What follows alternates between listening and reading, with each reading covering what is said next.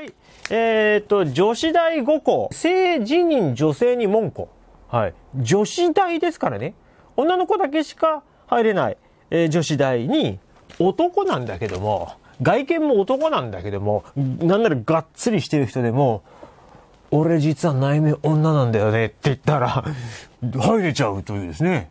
ええー、だから性自認女性、ええー、入れちゃうってわけですよね。まあ、それがですね、まあ、本当もう、体完全に男で、毛、それこそボーボー生えてて、ね、それで、俺は、みたいな喋り方してて、でも内面は本当は女なんだと 言ってですね、そしたら、はい、間違い探しゲーム、はい、あんたみたいなね、一人だけ身長180センチの大男がですね、女子校の中で一人セーラー服着て、でね、座ってるってことが、普通に起きうるわけですよね。で、まあ、ちょっと読んでみましょう。はい。戸籍上は男性でも女性だと自認しているトランスジェンダー学生に関して、全国の4年生女子大のうち少なくとも5校が入学資格を認めていることが3日、産経新聞が行ったアンケートなどで分かった。今後入学を認める方針を固めた女子大が3校に上ることも判明。トランスジェンダーを含む性的少数者に対する社会の変化の一端を示す一方で、在学生や保護者の理解に加え、なりすましの見極めの難しさを懸念する声も出ているということですね。どこが、あの、やってるかと言いますと、まず、国立ではお茶の水女子大、それから奈良女子大、えー、そして、えー、宮城学院女子大、えー、大阪の千里金蘭大っていうのかな？それから岡山のノートルダム精神女子大、えー、ノートルダム結構ネット上の記事になってましたので、それをですね、えー、紹介したことがあったと思います。あと、今後受け入れる方針をすでに決定した大学というのが、えー、日本女子大。東京ですね。それから、津田塾大と広島、えー、女学院大学ということですね。はい。これ、私の見解ですけども、あの、だったらもう女子大やめればっていうだからほら、多様性多様性って言うじゃないですか。多様性っていうことは、女だけの学校っていうのも一つの多様性ですよね。全部共学じゃなきゃいけないって、それは多様性じゃないんですよ。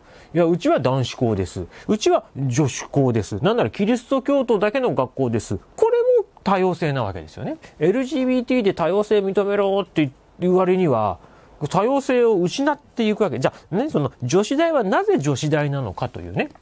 で、これいろいろ理由があるんですけど、もともとは、ね、大体ね、大学なんていうのは、あの、男が行くもんだと。女なんてね、そんなね、えー、高等教育なんか受ける必要ないんだ、みたいな時代が昔あったわけですよ。それでも明治以降ね、えー、女性でも高等教育を受けられるようにということで、そこで、あの、女子大というものが作られたわけです。男が学ぶのとまたちょっと違った女性ならではのカリキュラムを用意したりとか、えー、そんなんでですね、女性専用の学校が、まあ、できたわけですけども、まあ、その後ね、あの、女子大を辞めて、例えば学習院なんかね、学習院女子大とかありましたけど、それもやめちゃいましたけどね。あの、ま短大だったんですけども、あのー、もう女子大を辞めて共学にしたあ大学もたくさんあります。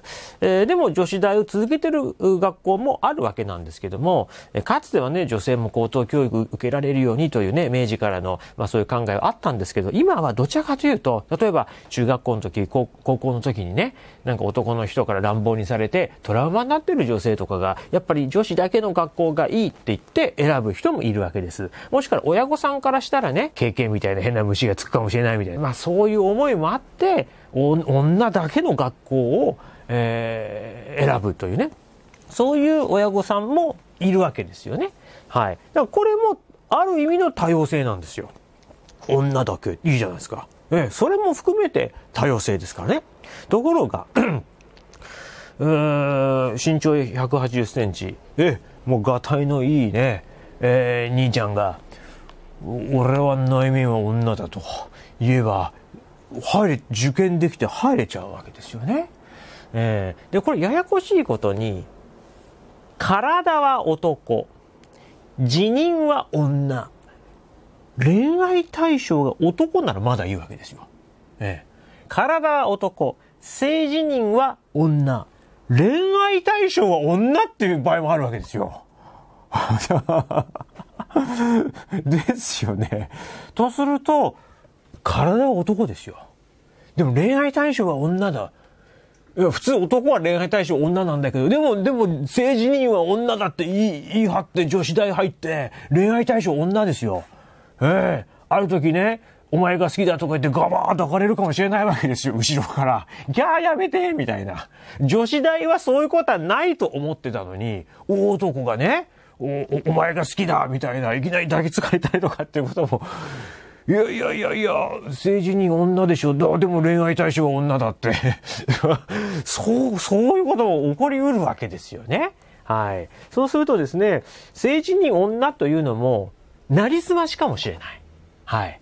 例えばね、むっつりスケベな男がね、えー、えー、なんか、僕は女なんですって言って、嘘ついてね、入り込んで、毎日女の子に囲まれてドキドキしながら、なんなら修学旅行で女風呂一緒に入るわけですよ。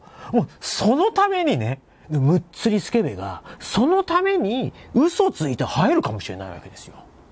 ええ。ね、例えばね、私ね、ほら、娘の父親ですけども、うちの娘が将来女子大に行ってね、こんながたいのいいね、自称女がいっぱい入ってきて、それは修学旅行でお風呂って言った時に、じゃちょっと心配ですよね。